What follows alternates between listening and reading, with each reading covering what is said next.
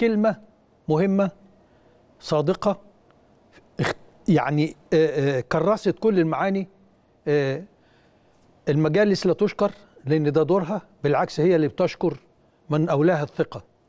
كل المجالس بتعمل من أجل أعضاء الأهلي وجماهير الأهلي. جماهير الأهلي اللي جزء منها هي أعضاء الأهلي. أيوه وإن كان أعضاء الأهلي بيتمتعوا بحاجتين الحمد لله.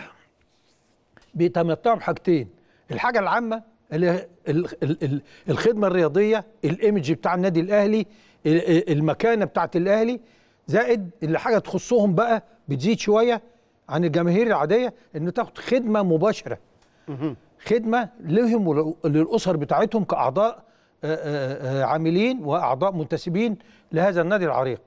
الأهلي في وسط كل هذا التجاذب وكل هذا الافتراء وكل هذا آه، آه، آه، يعني الناس المكرسة نفسها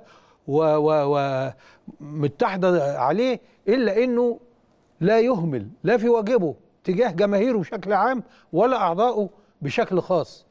الكلمة دي ركزت ببساطة شديدة على إن ده هم المجلس ودور المجلس وخلال العام أعتقد إن كل شيء وعد به مجلس الإدارة أوفى به لا يتبقى إلا الشيء اللي هو مش في طوع حد متغير حصل اللي هو بناء الاستاد الجديد اللي برضه المجلس خد فيه خطوات بإذن الله وبجماهيره وبأعضائه وبفكره هيقدر يبني هذا الصرح وهذا الحلم وساعتها يبقى ملك خالص لجماهيره ويعني بإذن الله آه، نشوفه رؤيا العين قريب.